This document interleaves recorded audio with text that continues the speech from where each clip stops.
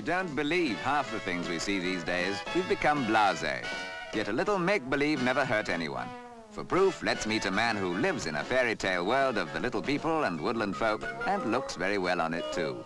78-year-old John Insull, uncrowned king of probably only four super craftsmen of this type in the world.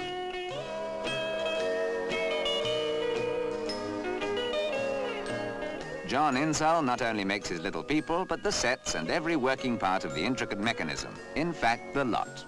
That clay head we saw was merely the first stage. From that, a mold was created and the gnome's head made again from papier-mâché.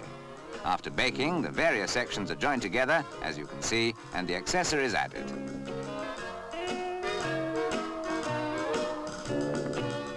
During the 19 years that Mr. Insull has been at this fascinating workshop, tucked away in a leading Croydon store, his reputation has become worldwide. But success seems to come naturally to John. He made an international name for himself many years ago as Hinsle the Comedy Conjurer. It was the advent of the talkies which set him, in his 40s, on a new and even more distinguished career.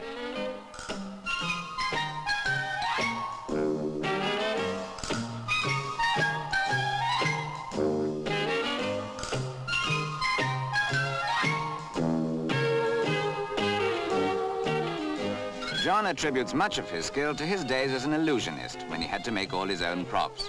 But while skill can be acquired, the almost human quality he imparts is something that cannot be learned. It has to be felt. Hey, wake up at the back. Not surprisingly, some of John's best craftsmanship has produced individual masterpieces, such as ventriloquist's dummies. The original Archie Andrews, for example. But for most of us, it's the little people who symbolize the charming talent of John Insull.